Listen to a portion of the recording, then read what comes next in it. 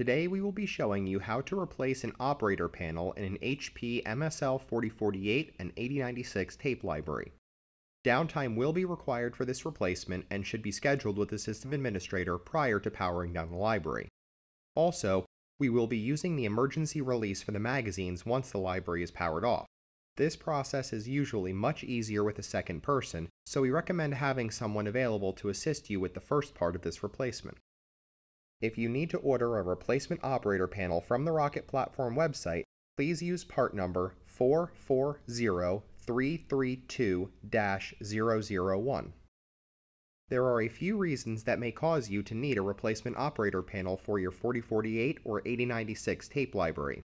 The operator panel may be completely dead or blank, or one or more buttons may not be working properly. Also, there may be glitches in the actual LCD that cause it to become unreadable. If any of these events is occurring, you will need to replace the operator panel. Once you have the replacement operator panel in hand, you will first need to power the library off. To do this, push the power button and you will see a message that the library is powering itself down. Wait for the power down to complete. Now you can move to the rear of the library while the second person stays at the front. Once in the rear of the library, you will first need to unplug the power cables from all power supplies so as not to risk any electrical short happening while replacing the operator panel. Then you will need to locate the emergency releases for the magazines on both sides. These will be small holes at the bottom left and right corners of the bottom tape drive in the library. For the next part, we recommend a small paperclip that is unbent to get in the hole. Push the paperclip in straight and you will feel some resistance as it engages the release lever for the magazines. Keep pushing in until the paperclip stops and will not go any further. While still holding the paperclip all the way in, have the person at the front of the machine pull the magazines out for that side straight back and out of the machine. Once the magazines are all pulled out, you can release the paperclip. Repeat this process for the other side as well. Once all magazines are out of the library and put to the side, you can move back around to the front of the library. You will be able to finish the rest of the replacement on your own. Now you will need to remove the front center fascia from the library.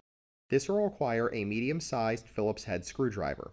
On the 4048, there are four screws that hold the front panel on, two on each side. On the 8096, there are six screws, three on each side. Once all of the screws are removed, you will be able to pull the front panel fascia off. You will now see the front operator panel and its connections. The first thing you will need to do is pull the ribbon cable out of the connector of the operator panel. Then you will need to remove all of the screws that hold the operator panel in place. Once these are all removed, the operator panel will be unfastened from the library chassis and can be set to the side. Now it is time to install the replacement. First, fasten the replacement operator panel to the library chassis using the same screws that held the faulty one in place.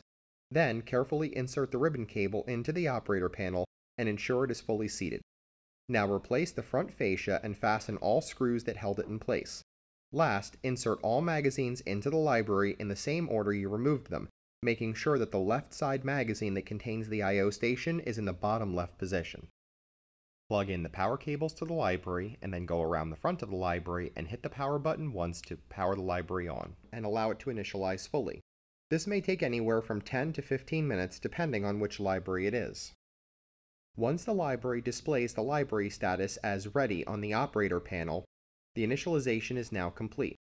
Please take time to test all buttons on the op panel for functionality and ensure that you can see everything on the panel properly. If there is still an issue with the operator panel once the replacement is complete, please open a ticket through the Rocket Plus customer portal. Thanks for watching.